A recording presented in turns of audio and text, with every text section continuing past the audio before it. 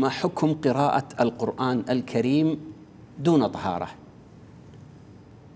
دون طهارة لها معنيين. دون طهارة الحدث الأصغر يجوز. نعم. يعني إذا كان ناقض الوضوء يجوز أنه يقرأ سواء كان غيب أو يقرأ في المصحف مصحف الجوال أو في الآيباد يجوز لأنه ما يلمس المصحف.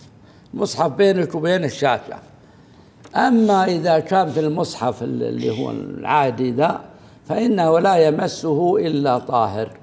والدليل آية وحديث.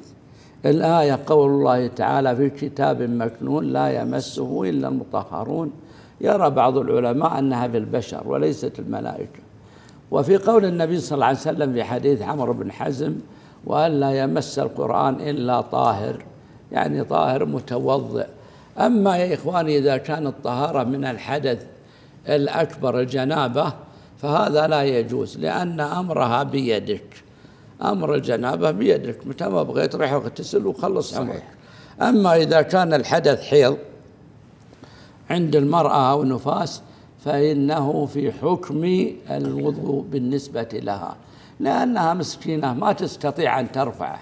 سيجلس معها الحيض مثلا سبعة أيام والنفاس أربعين يوم فما ما حرمها إن شاء الله القرآن ولا السنة من القراءة في المصحف بحائل إما بقفاز أو من الجوال أو من الآيباد أو نحو ذلك. نعم.